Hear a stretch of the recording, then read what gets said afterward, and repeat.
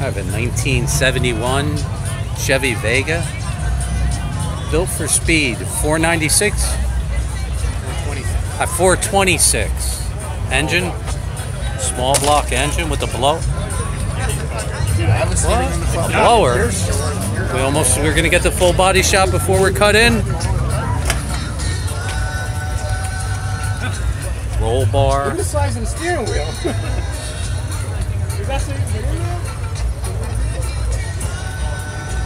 YouTube loves that full body shot.